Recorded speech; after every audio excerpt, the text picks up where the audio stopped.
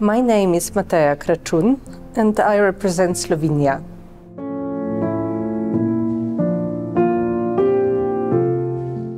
We all know that our uh, job is not without any challenges.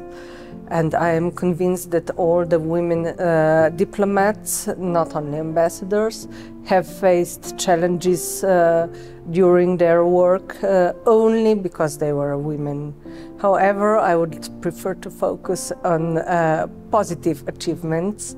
So last year, I think the extremely positive uh, day uh, for me was the day when I learned uh, that after my government um, proposed me as uh, nominated me as uh, ambassador of Slovenia to your beautiful country, I received uh, agrément from Brazilian side, and this was also the day of uh, birthday of my son.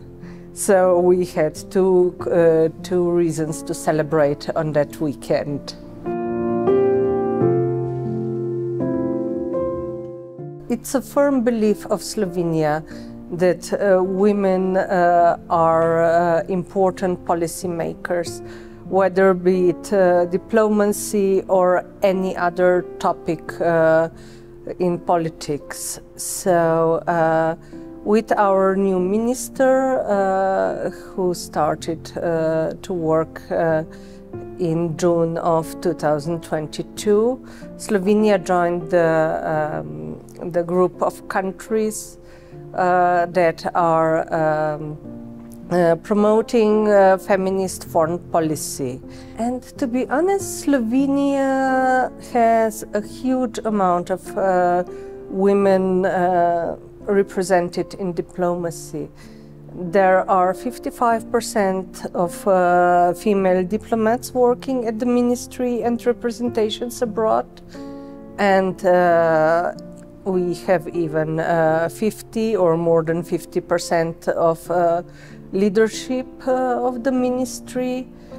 There are 43% of diplomats, uh, women at the moment, and the number is rising every year.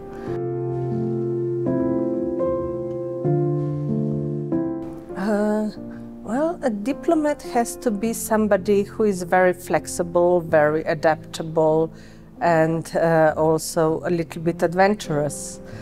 Uh, and maybe an advice for uh, girls who are joining diplomacy.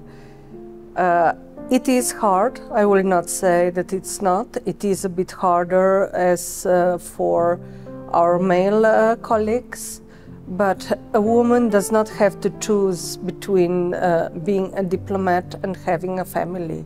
It can be done, but it takes maybe a bit more energy and effort to be um, good at both.